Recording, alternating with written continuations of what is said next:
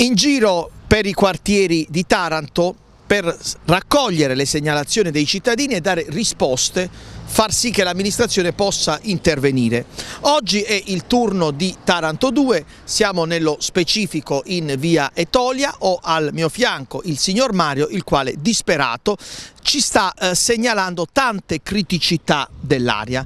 Allora Mario, iniziamo dalla prima criticità, la sporcizia. Siamo pieni di sporcizia qua. I rifiuti, i rifiuti non vengono rimossi allora, da parte di Chima Ambiente Amio. Ci stanno da 10-15 giorni qua, perennemente così.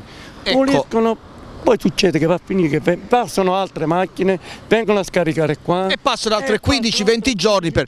Oltretutto mi facevi, mi, rilevavi, mi facevi rilevare opportunamente la Tari è schizzata alle stelle. Quanto hai pagato quest'anno? Quest'anno ho pagato 322 euro per avere questo. Questo porcile, diciamocelo non, apertamente. Non si fa una pulizia di strada.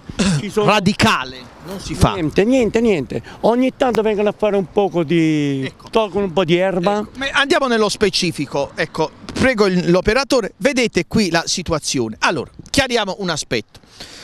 Il cittadino incivile che scarica di tutto. Va certamente sanzionato, bastonato, tutto quello che volete voi, ma è compito dell'ente comune nella fattispecie di Chima Ambiente Amiu provvedere poi a rimuovere questi rifiuti. Perché è vero che ci sono gli incivili ma non è che tu sol perché hanno lasciato, buttato di tutto, di più. Io, abitante di via Etolia, devo vivere nel porcile per 15-20 giorni aspettando la grazia che poi ci si degni no, di andare a rimuovere appunto quello che è stato buttato. Guardate qui, c'è di tutto, c'è una fiera campionaria di rifiuti. E là è pieno di topi qua dietro, perché questo è un fabbricato che sta da 30 eh, anni è qua. È ovvio che poi eh. questa zona in particolare, poi andremo anche a parlare del fabbricato, ma andiamo con ordine. Qui si crea questo mix esplosivo derivante dal, dai rifiuti che vengono accatastati e abbandonati, dalla zona abbandonata quindi sterpaglia, acquitrini che favoriscono ovviamente ratti, la presenza di ratti e insetti e il, il, il porcile, perché le, le, espressioni vanno dette, è, è, è bello e pronto. Allora, il problema è che della zona di Taranto 2 questa è la più schifosa che non vengono mai a fare niente. Ci sono buche non vengono mai a ripararle non fanno mai pulizia all'interno, se vieni all'interno vedrai lo schifo, pieno di carte, pieno di... Eh, stiamo pieni, stiamo combinati male.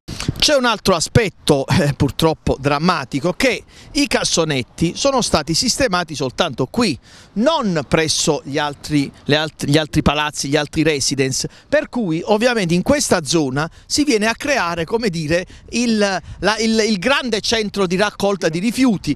Al, dinanzi a noi non ci sono cassonetti, in questi stabili di fronte, tutto pulito, tutto pulito. in questi stabili qui vicino neanche. Qua non hanno, non quelli ha... che l'avevano i cassonetti li hanno portati qua. E ora invece, ce l'abbiamo invece quindi questo è diventato il, il gran centro di, di raccolta l'immondezzaio. Qui vengono a, a essere conferiti tutti i rifiuti del circondario. E allora cari cittadini di Taranto coloro i quali ancora credono alle favole di Melucci o coloro i quali hanno creduto, non so per quali ragioni, se per ragioni che non possiamo dire qui o per uh, stoltezza alle favole di Melucci circa la rinascita che lui starebbe seminando, beh, se Melucci dice che sta seminando la rinascita, io dico che qui si è seminato, si sta seminando il porcile